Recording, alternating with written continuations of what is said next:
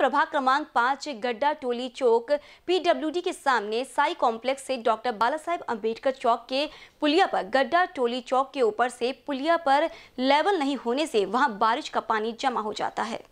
धूल मिट्टी भी पानी के साथ उस जगह एकत्रित होने से वहाँ पानी बहुत ही गंदा हो जाता है। पुलिया पर पानी की निकासी ठीक से नहीं होने पर वहाँ हर समय गंदा पानी रहता है। जो आने जाने वाले गाड़ियों से रेलिंग कवर ठीक से नहीं लगने की वजह से पुलिया के नीचे से गुजर रहे राहगीर, स्कूल जा रहे छात्र महिलाओं, काम पर या ऑफ़िस जाते कर्मचारी पर गंदा पानी गिरने से गंभीर समस्या निर्माण हो जाती है।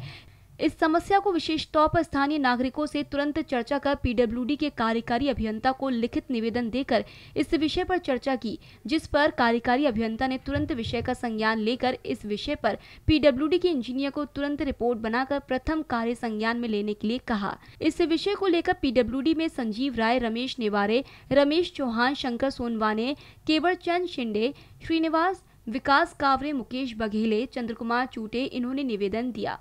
बीसीएन न्यूज़ से अभिषेक भटनागर की न्यूज़ गोंदिया।